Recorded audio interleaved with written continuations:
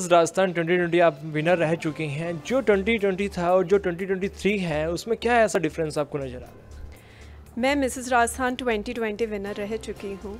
जो एक आ, मुश्किल दौर था 2020 में कोरोना आया था और आ, 2023 जो है वो मच मोर इवॉल्व है।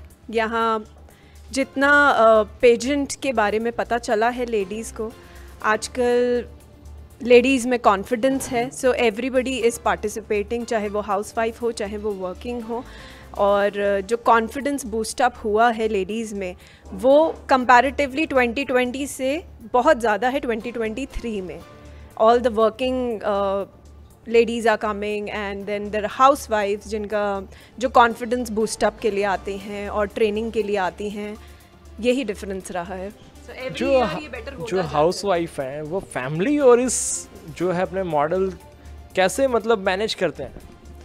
Sir women is if man is a man women is God women all are gifted okay जैसे सर्कमस्टांसेस आते हैं एक विमेन में यही पावर होती है कि अकॉर्डिंग टू द सर्कमस्टांसेस वो अडेप्ट करती है। पहले शादी के बाद वो फैमिली को अडेप्ट करती है फिर बच्चों को अडेप्ट करती है और साथ ही साथ में आज के ज़माने की जो कॉन्फिडेंस है लेडीज़ में वो अपने करियर को भी इम्पोर्टेंस देती हैं अपने आप को भी इम्पोर्टेंस देती हैं क्योंकि सेल्फ केयर uh, और हैप्पीनेस uh, बहुत ज़रूरी है।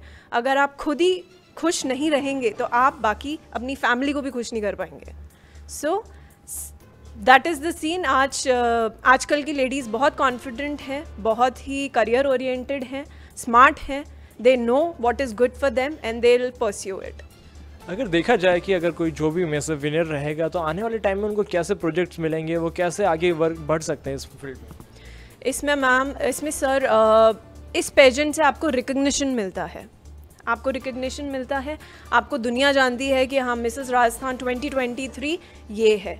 और आजकल तो जो जीके के क्वेश्चंस आते हैं गवर्नमेंट के, उसमें भी मिसेस राजस्थान का क्वेश्चन पूछा जाता है that who is Mrs Rajasthan of let's whichever year so so, एक रिकग्निशन जब मिलता है तो आपकी आवाज़ सुनी जाती है आपको देखा जाता है और फिर इस प्लेटफॉर्म को आप लेके कहीं भी अपने करियर में आगे बढ़ सकते हैं चाहे वो मॉडलिंग हो चाहे वो आपका सोशल मीडिया प्लेटफॉर्म हो चाहे वो कोई कॉज हो जो दुनिया में आप कुछ चेंज लाना चाहते हैं चाहे वो आप खुद के लिए भी हो।